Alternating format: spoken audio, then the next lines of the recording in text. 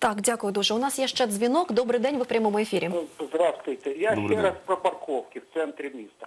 Я неодноразово пропонував, я- от я мешкаю на Львівській площі. Це в- біля Михайловської, вважаєте, рядом. Там можна зробити парковку на 100 паркомісць на Львівській площі. Я це показував. Хтось, ну, а 100 тисяч гривень дають на Михайловську чомусь. А на Львівську площадь там безкоштовно можна зробити парковку, ніколи це не цікавить. От дайте відповідь на це.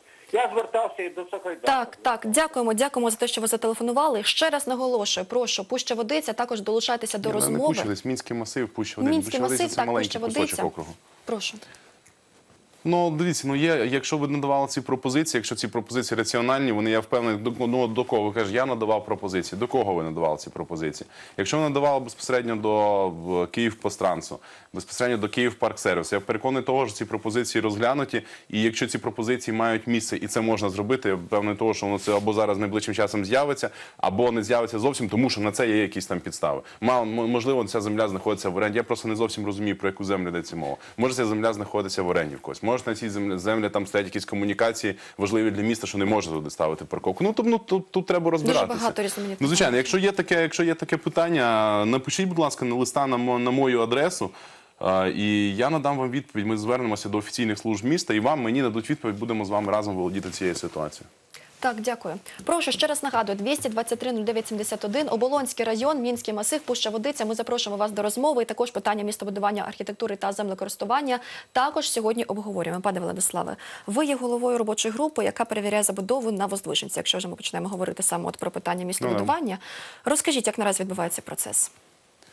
Процес відбувається. Вже було ство... після того, як була створена робоча група. е, Був спочатку була виїзна робоча група, виїзне засідання. Депутати виїхали на місце, подивилися на безпосередньо на це будівництво, яке відбувається. Будівництво йде повним ходом. А, і потім, після того, ми зібралася, була робоча група вже безпосередньо в стінах Київської міської ради, де ми розглядали а, ті дві сторони. А, Які є, тобто там основне питання, яке піднято було безпосередньо ініціативною групою, це те, що не буде там дитячих якихось інфраструктури дитячої. Забудовники були присутні забудовники. Укрбуд компанія на безпосередньо на робочій групі забудовники взяли на себе зобов'язання, що там з'являться дитяча інфраструктура повністю на, на цій території. Далі це було друге питання паркінгів. Знайшли е, територію на паркінг, є- де можна буде розміщати паркінги. Е, Це, це питання також зняли, знялося активістами. І основне питання було, яке мене також турбувало, тому що якщо ви знаєте, це Воздвиженка. Якщо заїжджати на Воздвиженку, це такий мішок. І на цю Воздвиженку ведуть тільки дві дороги. А, і можливо буде транспортний колапс, тому що потім вони виїжджають на вулицю Глибочицьку. Глибочицька теж вулиця, якщо ви знаєте, вона не, не така вже й широка. От і тому може бути транспортний колапс. І забудовник взяв на себе зобов'язання, що вони а, проріжуть дорогу з іншої сторони. А, туди е, і буде і буде якби заїзд і на Глибочицьку, і далі тоді вже наверх буде заїзд. Тобто з двох сторін буде виїзд, і забудовник теж на себе взяв це зобов'язання. Забудовники і ініціативна група мешканців підписали між собою меморандум. Там у них чи 6 чи 7 пунктів цього меморандуму, що потрібно зробити.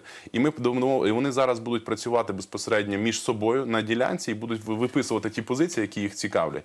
А, і е, я думаю, що ми будемо вже приймати рішення. Я думаю, що за тиждень, за два ми знову зустрінемося і знову проведемо робочу групу. За цей час ми дали доручним забудовникам і мешканцям проговорити між собою ці позиції. Я думаю, що. А там буде все нормально. Зараз там будинки вже побудовані є, збудовані. Ми ж і продані квартири. Тобто, ми ж ми самі розуміємо, якщо є, є побудований будинок, а, люди проплатили кошти. Вони вони чекають вже своїх ключів від, е, від цих помешкань, від цих квартир. А коли приходять, наприклад, хтось і починає розказувати, що люди не отримують квартири, а ці хтось це там буквально там 5-6 чоловік якоїсь ініціативної групи, ну невідомо звідки створеної. Чому вони чому вони два роки тому, чому три роки тому там ніхто не з'являвся на цій земельній ділянці? Чому от саме зараз, коли там повисили прапор Укрбуду, якщо ви знаєте, це будівельна корпорація в місті Києва будує найбільше сьогодні на сьогоднішній день е, житлових будинків якісних. І зараз ми говоримо про те, що. Е, Хтось, якісь там ініціативна група, 5-6 мешканців прийшло і починають розказувати, чому люди там в кількості 300, 400, 500 чоловік не можуть заїхати в будинки, які вже побудовані, і блокувати будівництво. Ну не буде такого. От поки і є, є дійсно є от ті питання, які я говорив, там дорога, дитяча інфраструктура, а, паркінги.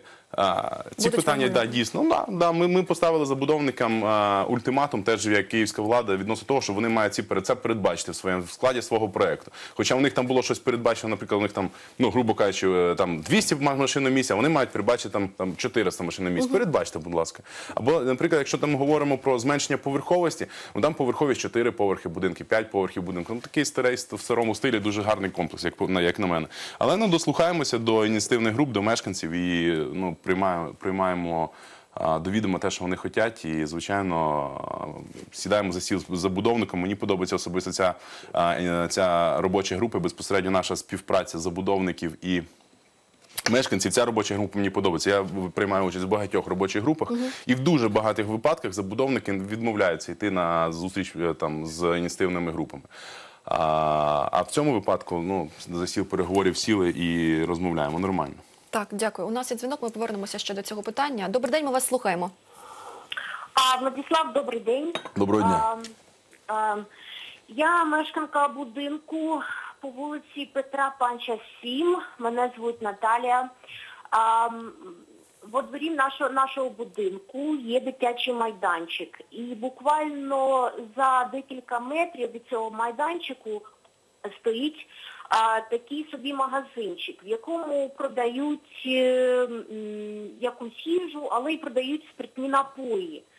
Так, ем, я би хотіла, щоб якось можна було перевірити чи якось е, відреагувати на те, що люди, які приходять і купують ці спиртні напої, всі сидять, е, приходять на цей дитячий майданчик і п'ють ці напої на цьому майданчику. Це жах. Це жах нашого району. Це жах значить. Я, я зрозумів питання. Так. Це в нас е, бар тут, розумієте. І ще одне питання. Так, в нас е, буквально, ну не знаю, може метрів 100, може 200, знаходиться школа. Так от, по нашому законодавству, я хочу вас спитати, чи має право ці люди в цьому ларьку чи магазин, це магазин, продавати спиртне, е, е, щоб воно так близько знаходилось до школи? Тому що, розумієте, і сигарети, і спиртне, все там. Так. І от тут у нас бар, розумієте, вийти із парадного, дитячий майданчик, п'ють, от тут кожен день. Ми зрозуміли. Дякуємо дуже. Дякуємо за дзвінок. Чекаємо далі дзвінків. Прошу, Оболонський район, Мінський масив, Пуща Водиця. Ми чекаємо дзвінків 223 09 71. Прошу. Перше, от я зараз прямо даю доручення там е, своїм помічницям. Е, Зв'яжіться, будь ласка, служби благоустрою Болонського району. Нехай вони приїдуть сьогодні до цього кафе.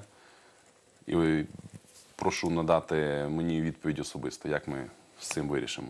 Друге, на жаль, на жаль, оце от виборне законодавство, яке е, поділило наш округ Петра Панча, на жаль, це зараз вже не мій округ, але я ним опікуюся, піклуюся і буду продовжувати далі опікуватися і піклуватися. В мене на районі, наприклад, це от яка це Петра Панча, це вулиця, якщо ви від собі просто вулиця, полярна вона називається. З одного боку це мій округ, з іншого боку, це був мій округ, зараз це не мій округ. Але я ним продовжую опікуватися. Так ось з цієї сторони ми зараз вже дуже багато таких розливайок позакривали. Е, Зараз ми перевіримо, що це за, за ділки там у вас біля будинку, продають там спиртне і так далі. І приймемо зараз міри. Не переживайте. Е, Я не залишу, як і не обіцяв вам, я не залишу той, той свій округ, е, який був у мене на попередніх виборах, великий. Це перше питання. Друге питання. Якщо ви знаєте, Київська міська рада прийняла про е, рішення про повну заборону продажу алкоголю в ларьках, тим більше біля школ, тим більше там, де вчаться наші діти, які дивляться на це, і цим взагалі не потрібно.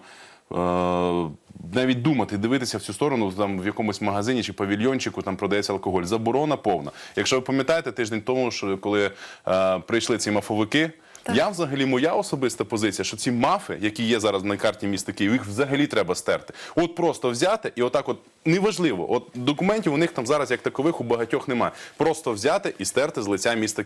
Ні В жодній європейській столиці такого ганьби такої немає, як у нас. Це ж просто це пережиток радянських часів, це пережиток якихось там там неспокійних 90-х. Але зараз ну я, я, наприклад, не уявляю, як можна на, на мапі міста Києва тримати стільки цих от мафів. Я просто вважаю, що якщо зараз заборона алкоголю. В мафах, вона приводить це перший крок для знищення їх взагалі, як з карти міста Києва. Якщо ви знаєте, вони чому прийшли до нас під Київраду? Пам'ятаєте, тиждень тому пробки були, перекрили все місто, Так, так, потім це вірвалися до Київської міської ради, побили депутатів. Ви це все прекрасно знаєте по телевізору. Так от я вам скажу, за що вони борються. Вони борються за цей алкоголь. Тому що без алкоголю ці мафи будуть нерентабельні. І якщо ми зараз просто чітко чітка у київської міської влади позиція відстояти цю позицію, що ніякого алкоголю в мафах не буде. Якщо буде алкоголь в мафах, зразу на знос. Супер. Отак, от і будемо. І зараз я хочу, щоб ми подивилися, перевірили. Е, я прошу, з, з, якщо у вас є можливість, давайте, щоб це було офіційно. Напишіть на моє ім'я листа. Я направлю в службу благоустрою. Ми перевіримо цих ділків ваші, які біля школи. Там, не дай Бог, зараз алкоголь підтвердиться, продається. Ми їх просто-напросто вивеземо. Це я до нашої звертаюся до дзвонювача. Я вважаю, що якщо вони не будуть ці мафи рентабельні, тому що в них немає алкоголю, це перший шалений крок для того, щоб їх взагалі стерти з лиця міста Києва. Ви хочете, щоб мафи були? От як киянка, от у нас в місті Києві. Ну, з приводу мафів різні є е, думки. Ви, ви, я от про вас питаю. Ну, мені не подобається. О, різні є. Це знаю, тому що да, можна розказувати про те, що а, немає там е, конкуренції, там не- не- немає там, наприклад, от мафи.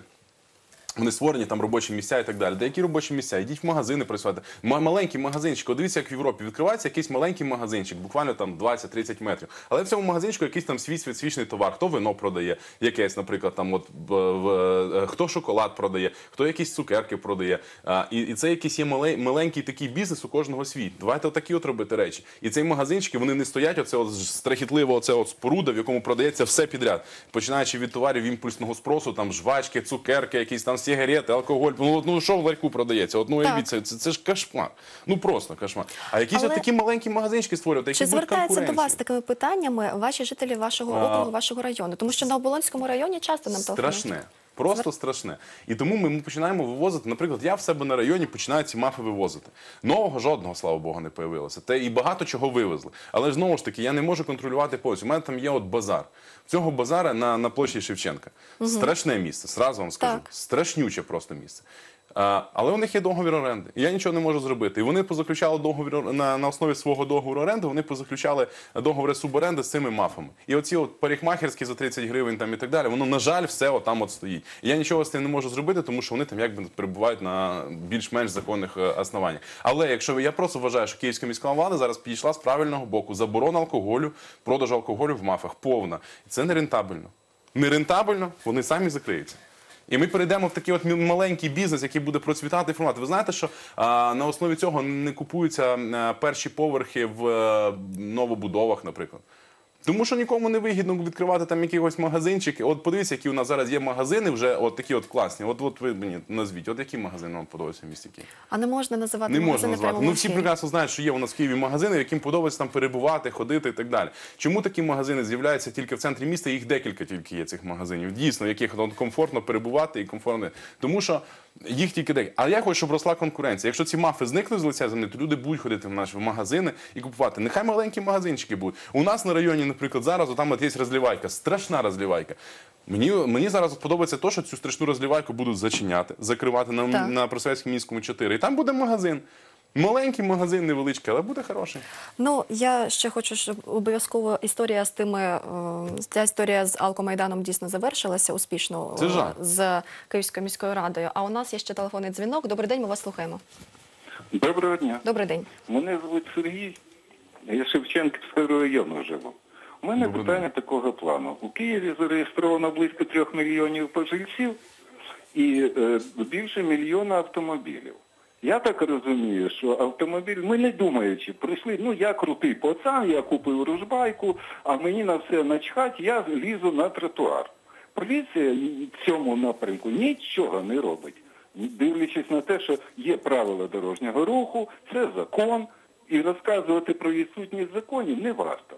Якщо, наприклад, є е, поняття, що демократія і, вибачте, імпотенція це синоніми, ну тоді таку поліцію просто треба розганяти. Так, дякую. Тільки я не дуже зрозуміла, у вас претензія до паркування, чи у вас претензія до поліції до паркування? Так, редактори підказують. Зараз ми вже коментували в принципі сьогодні питання паркування. Зараз ще раз прокоментую, але я хочу нагадати, у нас залишається ще час для того, щоб жителі Оболонського району звернулися зі своїми проханнями. Прошу 223 971, Оболонський район, Мінський масив, Пуща Водиця. Будь ласка, долучайтеся до нашої розмови. Прошу. Ну дивіться, от давайте знову ж таки, от повернемося до тої розмови. Да, дійсно, натикано у нас цих машин ну скрізь на всіх тротуарах, людям нема де ходити.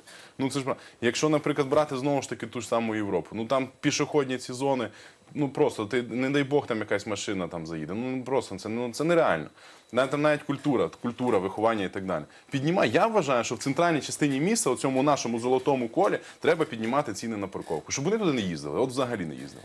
Нехай ставлять машину десь там на, на, на платних парковках і далі. Тоді ми зможемо зберегти історичний центр, вигляд центру міста Києва. І треба відповідно слідкувати за собою.